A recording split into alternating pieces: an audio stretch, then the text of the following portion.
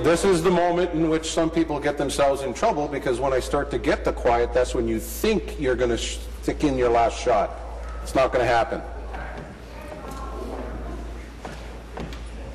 Which the member just did. Please finish. Yes, I know, Mr. Speaker, they're screaming because it's an embarrassment. With their It's not helpful. It is an embarrassment. Bill 26 being debated today, the Living Within Our Means Act, would require government to do what every responsible family across Ontario does with their lives, which is to live within their means. It says that the budget must be brought to balance by April 1st, 2017, or the Executive Council would take a pay cut. It's a very reasonable approach, considering that Ontarians are the ones Question. paying their salaries in the first place. So, Minister, with all three parties expressing the need to bring our books into balance, can I count on your support for the Living Within Our Means Act this afternoon? Yes? Minister of Finance.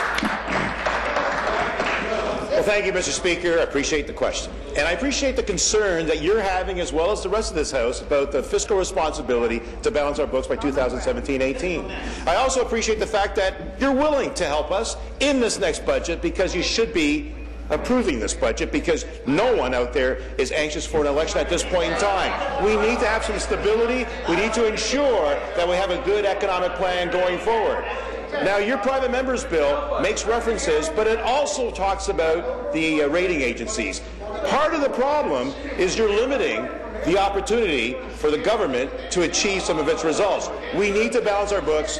We're looking forward to reducing our debt to GDP, and we're going to do so with Answer. or without your support. Thank you. Supplementary. We're already counting on you guys.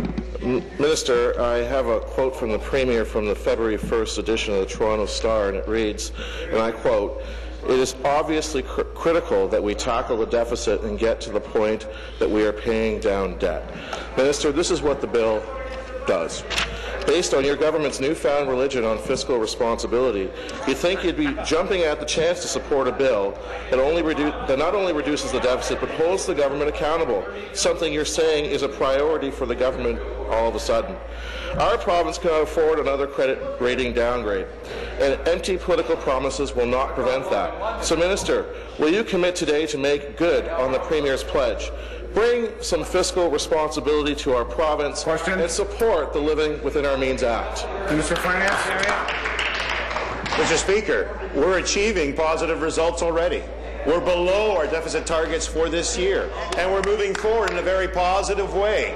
And we look to you to help us achieve those results because the public are looking for that stability. Now, the point in your bill that creates some concern is the negative impact it would have and the traditional and the additional pressure would put on the province's credit rating because of the increased pressures that it would add. That's the only issue. Otherwise, we're on the same page. We want to reduce our deficit. We want to ensure that the recovery of the of the economy continues, and we want to make certain, Mr. Speaker, that we take a balanced approach. And I, I look to you not to promote slash and burn strategies that's going to have a negative impact on that recovery. We need to ensure that we do it pos- Answer. positively and in a, pro- in a progressive manner.